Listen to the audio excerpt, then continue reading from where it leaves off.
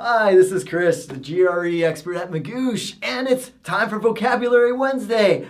Yeah, I know, I know, it's been quite a while, but I have a special announcement. I wrote a book, a vocabulary builder workbook to be precise.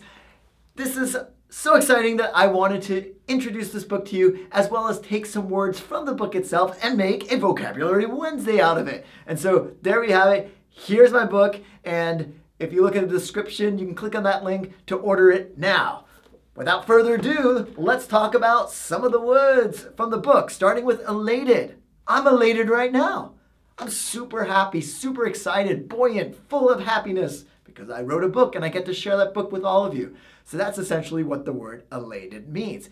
Now, the way I'm going to do this Vocabulary Wednesdays, I'm going to show you four words, including elated, and as we go through each one, they're going to get harder and harder. And I mimic that same structure in each chapter of my book. It starts off with the easier words and gets harder and harder. So let's go on to the next medium level word ephemeral. Ephemeral means not lasting for a long time, short lived.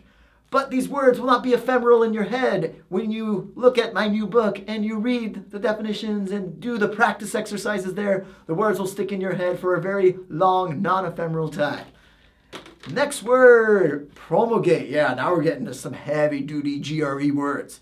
To promulgate means to make officially known or to declare. So if the government wants to pass a new program, they say, we're now announcing that we're going to do this. We are promulgating it.